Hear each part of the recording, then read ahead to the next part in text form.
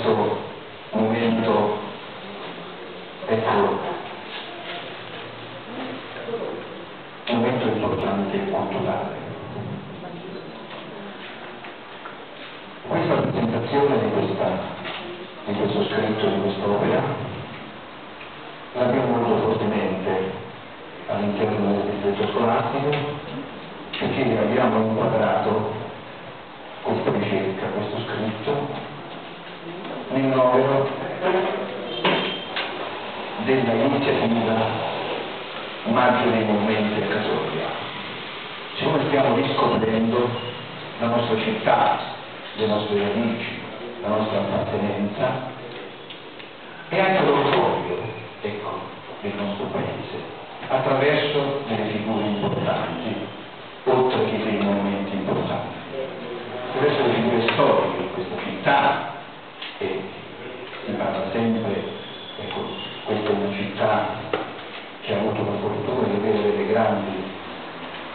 congregazioni religiose, dei, dei grandi personaggi religiosi, ha avuto cardinali, ha avuto sottosegretari di Stato, quindi parliamo del cardinale Maglione, che quando prima io penso che come riscoperto di questa grande figura di Pio XII di questo grande Papa che, che si dedica con l'apertura di archivi vaticani, quindi si riscoprirà anche questa grande figura di sottosegretario di Stato che è stato il cardinale Maglione, po' l'artefice, il punto di riferimento di tutta l'azione diplomatica della seconda guerra mondiale, quindi un personaggio non di seconda, eh, di seconda fascia diremmo, ma un personaggio importantissimo. Quindi stiamo riscoprendo anche le figure storiche, dicevo, il cardinale giudice e quindi le fondatrici delle congregazioni, il nostro grande padre Domenico della Cattolica, che speriamo quanto prima verrà annoverato ecco, come eh, verrà ecco, beato adesso, eh, quindi verrà proclamato quanto prima santo, speriamo. Così abbiamo ecco, Maria Cristina Branco, la Velotti, abbiamo Santa Giulia Sarzano, quindi figure storiche queste importantissime che hanno fatto per la luce della nostra città. Oltre che, ecco, stiamo riscoprendo all'interno della nostra città, e guardate, questo lo stiamo facendo attraverso, attraverso la scuola, attraverso gli alunni, che ci stanno conducendo per mano a conoscere più profondamente l'importanza della nostra città. Quindi questo è un fatto importante, parte un, un messaggio culturale che parte dal mondo della scuola, attraverso insegnanti, docenti entusiasti, appassionati, eh, orgogliosi delle, delle proprie. E poi conoscere profondamente per il luogo dove si è nato, dove si conduce la propria vita, come si può conoscere questo per spaziare a conoscere il mondo che ci circonda. Quindi è un fatto importante. E dicevo, siamo all'ottava edizione, noi speriamo, abbiamo lasciato come distretto scolastico questa piccola fiammella accesa, con la speranza che ci sia qualcuno che più potente economicamente, istituzionalmente del, del distretto della scuola, possa fare suo questa iniziativa, possa renderla più importante, possa trasformare questa città, possa ecco, migliorare la qualità di vita di questa città. Noi lasciateci sperare, la speranza è l'ultima morire, si dice, lasciateci sperare che ci siano uomini orgogliosi, capaci che possono prendere le redini di questa città e farci condurre una vita per uomo. E dicevo, quest'opera l'abbiamo incastonata tra le figure storiche e, e quindi tra eh, eh, le figure che sono vissute eh, attraverso ecco, e hanno attraversato che sono vissuti in questo territorio, ecco, l'abbiamo riscoperto infatti 5-6 anni fa, il Deputinelli è passato da qui, il grande Gian Vico, eh, eh, eh, Basile, chiedo scusa, dell'Apsus, Gian Battista Basile, che è un po', ecco, eh, colui il quale che ha scoperto, che ci ha fatto scoprire la favola, per i migranti paolisti, ecco, c'è stato lui che è stato l'iniziatore è stato ecco, come si è inventato la favola. Quindi aveva la sua amante, la sua donna che era di Casoria e quindi passava per Casoria, perché voi sapete, Gian Battista Basile era anche il maestro di corte di Napoli, quindi era girato due di primordi. Quindi attraverso questa ricerca continua sul nostro territorio noi abbiamo avuto il privilegio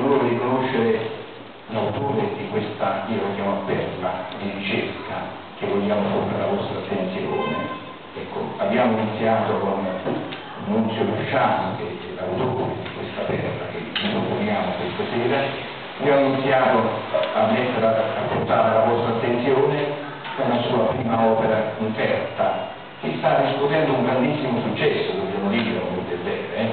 e dobbiamo essere orgogliosi di avere ecco, persone umili, persone semplici, ricercatori profondi che hanno e lui fa parte, ecco, non so di questo stanno ricercando continuamente per rendere giustizia a questa terra e per, renderci orgogliosi di appartenere a questa terra. Io lo devo ringraziare da quel profondo del cuore, Annunzio, per questa sua ricerca. Noi questa sera, vi ripeto, incastonando tra i vari personaggi che siamo scoperti che appartengono a questa città di Cassoni, ecco, vogliamo riscoprire attraverso lui, attraverso la sua ricerca, una donna una donna che è stata una donna eccezionale, non si sa come interrogativa si distingue se effettivamente ha scritto lei, ecco, questo diciamo una moda, oppure ecco, c'è un altro autore dietro questo scritto, questa, questa composizione poetica. Allora io mi avvio a presentarvi, ecco, come introduzione, perché poi ci saranno i miei colleghi che approfondiranno ognuno per il suo aspetto, approfondiranno ancora meglio ecco, questo, questa ricerca. Io voglio ringraziare per iniziare i lavori, ecco, il eh, preside Francesco Iori, il gerente del liceo Durante, professoressa Vittoria Capere, sempre con il vicepresidente del distretto Tricia, appassionata cultrice, ecco, eh, e, e, e opere eh, diciamo non note, ma anche lei è una ricercatrice e quindi eh, ci proporrà alcune riflessioni su questo e quindi eh, alcuni approfondimenti. Poi abbiamo il dottor Paolo Consiglio, che è il direttore dell'urbanista, il direttore eh, dell'altro lato, del giornale che tutti quanti noi leggiamo ogni settimana, che è un punto di riferimento sul nostro territorio, e concluderà quindi questo lavoro l'autore di questa opera. Grazie Nunzio per questa opera, per questa ricerca. Io voglio introdurvi brevemente in quest'opera, voglio fare qualche piccola riflessione anch'io, e vi ringrazio per essere venuti così numerosi, speriamo che altri amici ci seguiranno. Dicevo, ecco, in molti scritti a carattere romanzesco, in effetti, cercherò di introdurvi in questo viaggio che faremo questa sera. Dicevo, in molti scritti a carattere romanzesco, l'iniziale spunto nasce dalla fantasia dello scrittore, che talvolta finge di aver eh, rinvenuto un antico manoscritto abbandonato, di averlo spolverato e dopo un'attenta lettura di averne tratto notizie interessanti oppure dati inediti da rielaborare e utilizzare per creare una favola.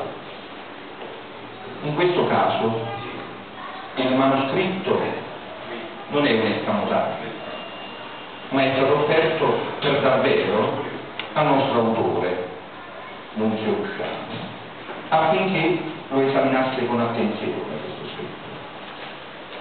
e in verità Nunzio si è appassionato a questa ricerca, analizzando, esaminando, confrontando, studiando con dovizia di particolari e suscitando ovviamente anche il nostro interesse di lettori.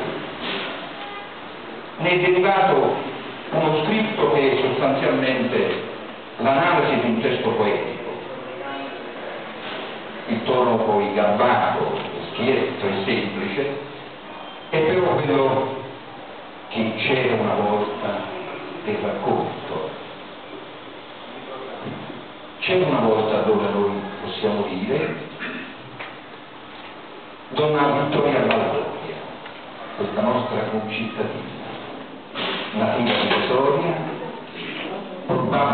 probabile autrice di un componimento in versi sulla moda. Ed è questo il punto su cui ragioneremo questa sera, su questa donna. Questo potrebbe essere l'inizio di un racconto,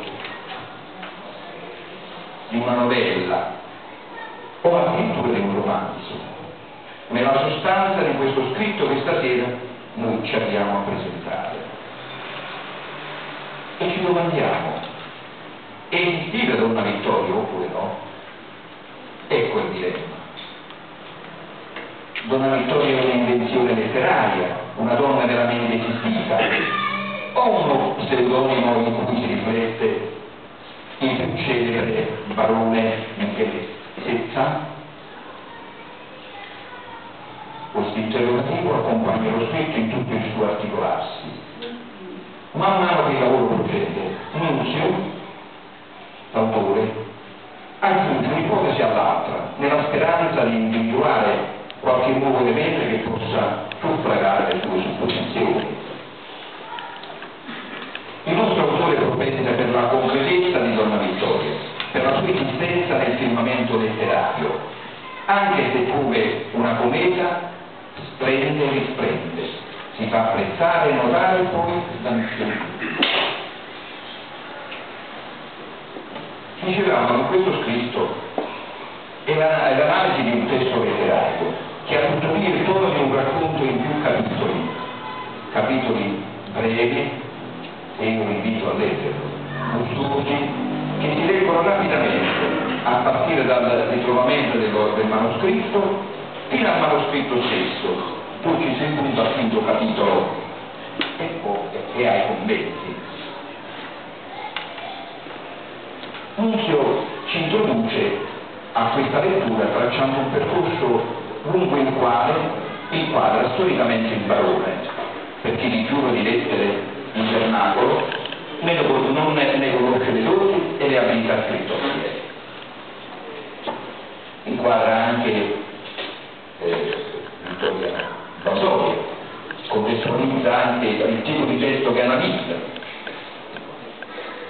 È un testo ironico e a tratti pungente sul buon gusto, il bon ton, cosiddetto bon ton il benissimo passo della borghesia, le abitudini che differenziavano necessariamente un ceto sociale dall'altro, modi di essere e modi di fare che erano di moda nella prima metà dell'Ottocento.